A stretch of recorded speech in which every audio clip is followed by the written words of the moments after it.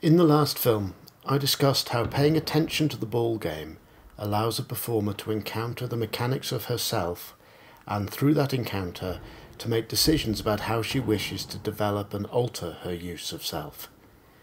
This process is based on the performer learning to pay appropriate attention to her work and her interaction via the ball with others. One of the key areas of learning that the ball game offers is the development of this idea of appropriateness. Appropriate is a strange word in that it can suggest a form of restraint or withholding. That is not how I use it. When I use the word appropriate, I mean any response to an impulse that properly serves the continuation of the exercise. Sometimes the appropriate response is subtle and understated, sometimes wild and enormously energetic. However, if a performer is to learn how to sustain a performance, always serving its continuation and always keeping it live, she needs to rehearse appropriateness. The ball game offers her the opportunity to do this, for in addition to being a domain to develop the mechanics of the self, it is also a domain of metaphor and psychic modelling. That the ball game can serve this function is not surprising.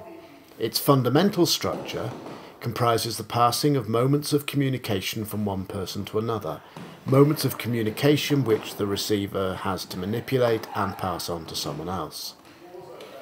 As such, this is a model for all performance situations. A performer receives and transmits elements of communication.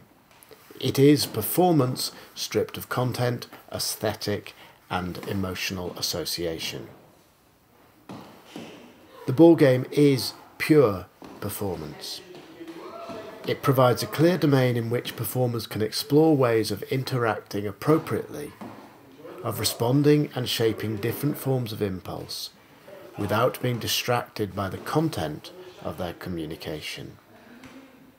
An example. I encourage performers not to help one another in the ball game. This may seem a strange thing to suggest, especially as the training is designed to develop ensemble, and the performers who choose to work in ensemble contexts are often highly empathetic, generous, and naturally helpful. However, to help another to do an exercise is not an appropriate response. Being helpful deprives the other person of the chance to have full engagement with the complexity of the exercise. If I don't throw a ball to someone because I see that she's already dealing with another ball, then I deprive her of the chance to deal with two impulses at once. I withhold from her a full experience of the exercise. Though I might be trying to be helpful, I am in fact being patronising, as I'm working from the assumption that the person I'm trying to help will not be able to deal with a challenging and complex set of requirements. Of course, there is a chance that she will not be able to deal with those requirements. She will perhaps drop one or both of the balls. However, there's no problem with her dropping the balls. Dropping is always fine. She will, at least, have had the chance to experience what dealing with two balls at once entails. She will encounter the need to respond simultaneously to two distinct impulses.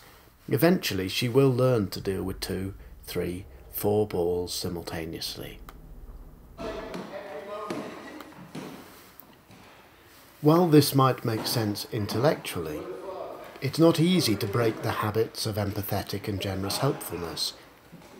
It feels wrong to throw a ball at someone who is struggling to deal with something else. It feels rude, confrontational, insulting. Yet at least it's only a ball that's being thrown, how much harder it is to take the risk of overloading someone if the communication that is being offered them is content rich, if it is emotionally loaded or potentially painful to the receiver.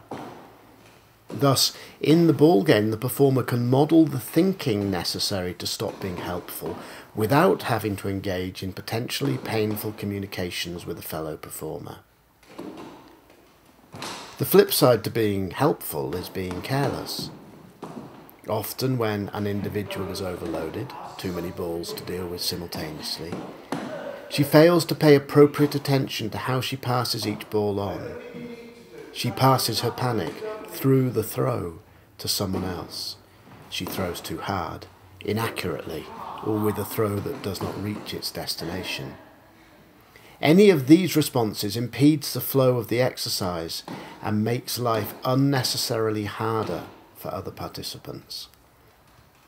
Thus, in developing appropriateness, the performer is asked, however busy or calm she is at any given moment, to neither help nor impede. She is asked to respond appropriately. In other words, to do only but exactly what the exercise requires of her in each unfolding moment. In this way, the ball game, serving as a metaphor for all performance, allows each performer within it to model and embed appropriate ways of communicating within the ensemble. Knowing exactly what the range of appropriate responses at each moment is requires the performer really to understand her task. This requires specific attention to each moment. As every task can be broken into smaller elements, and as the exercise usually requires each performer to work with more than one ball and more than one action at once, so this opens up the idea of the hierarchy of tasks, another core metaphor for all performance.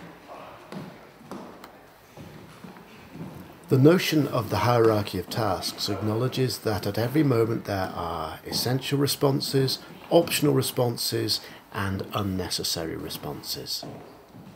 The performer must do the necessary, can do the optional, and should not do the unnecessary.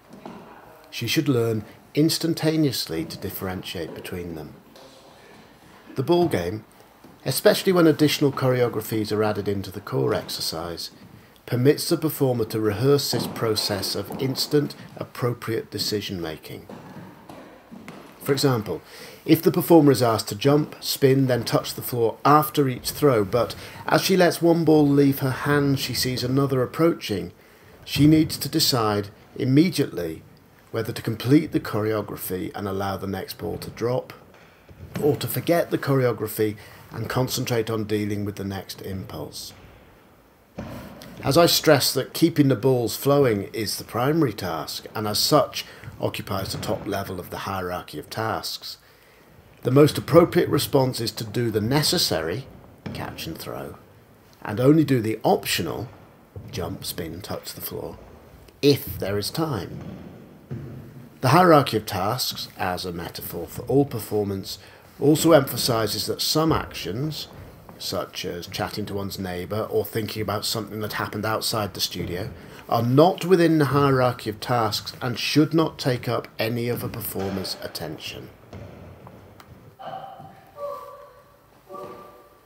The ball game works as a domain where certain thinking disciplines can be rehearsed in safe, content-free ways.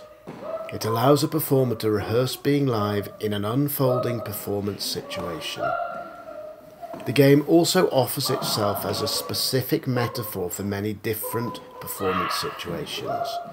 It's very common when I work with performers beyond this training, turning this work into rehearsal and performance, for those performers to have insight into what a given scene or action requires of them by realizing, ah, yes, now that's exactly like it is in the ball game.